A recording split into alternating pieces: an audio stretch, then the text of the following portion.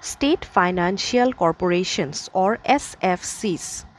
As we have understood that IFCI is the corporation which helps the industrial growth at the national level.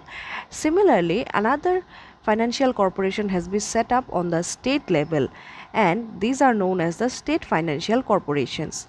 The SFC was established under the State Financial Corporation Act which was passed by the parliament on 28th September 1951.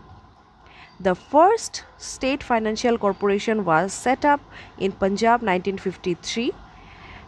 Nowadays, most of the state governments have set up SFCs in their respective states.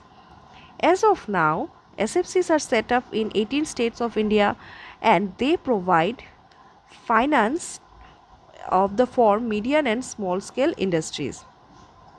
They are empowered and provide financial assistance in the form of loans and advances, subscription to shares and debentures, underwriting of new issues, and guarantees of loan, etc.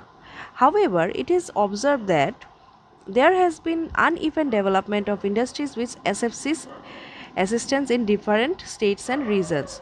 Therefore, the SFCs are not as successful as their national counterparts. They result in uneven development in the area.